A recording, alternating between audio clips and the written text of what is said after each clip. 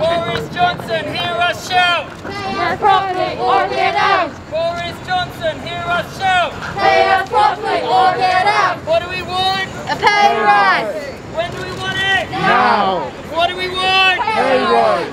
When do we want it? Now! We're a group of NHS workers from St Thomas Hospital. We're out to protest against the government's 1% pay offer, which is ridiculous.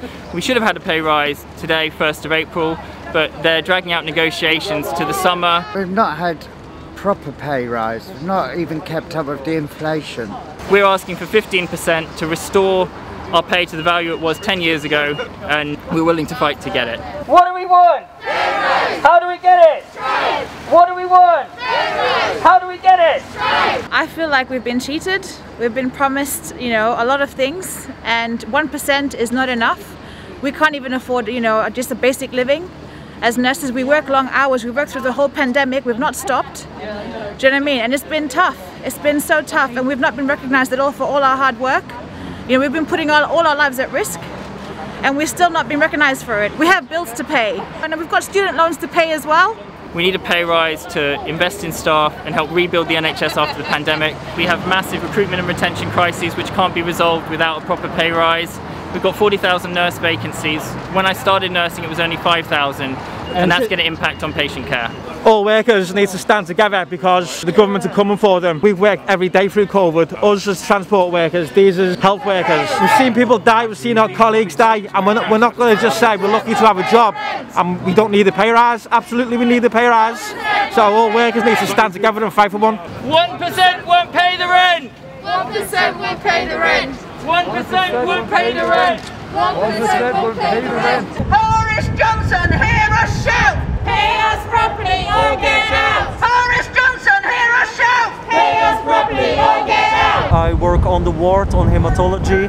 Uh, we have been helping out on ICU. It's been an, an incredible experience to work in a team of people just solving problems and helping to take care of people and create a vision for healthcare and, and actually physically enabled to do that. And it's been a real insult really to hear that I just got a 1% pay raise. I feel let down. Since this pandemic started, I haven't done any, maybe go off for any minute. And I deserve thank you pay rise. I've worked through the last year on a COVID ICU. Um, we've worked extremely hard. We've seen lots of horrible things. We've done our best for our patients.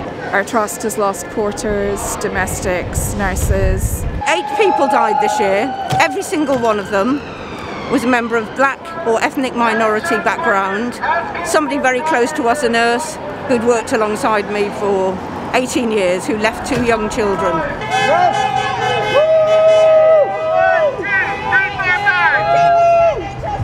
One, two, three, four, five! Keep our NHS alive! We've got enough of 0% in local government.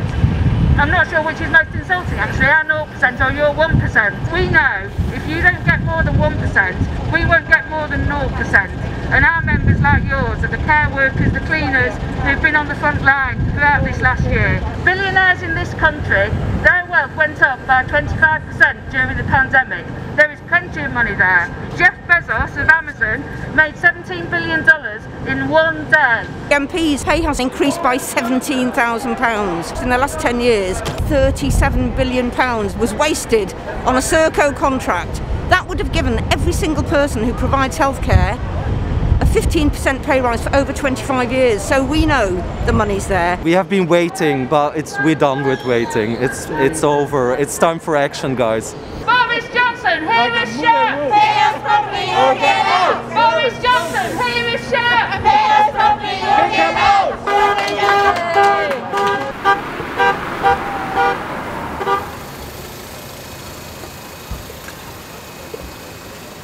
In real terms, we've calculated that we've lost about 20% of our wages. There was a long time when there were pay freezes. People are not going to carry on working as well without, without decent pay.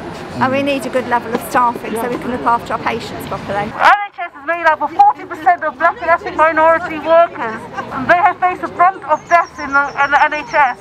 We know there is racism in the NHS.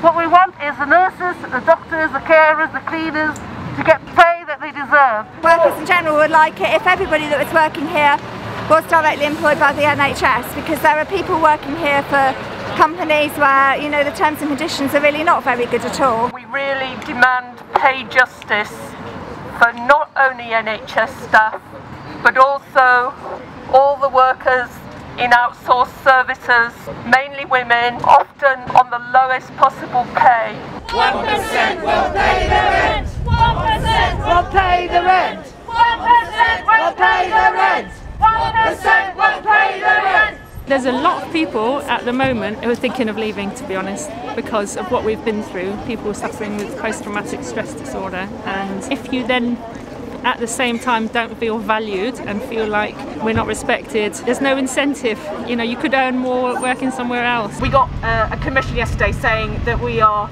a model of race equality when people from BAME backgrounds, including those who work for and in the NHS, are some of the lowest paid, including our colleagues in, in ISS at the Homerton, who continue to be on an outsourced contract um, and continue not to get the same wages as all of us who work directly for the NHS. ISS workers and other uh, private contractor workers in the NHS are fully in support of the NHS pay rise.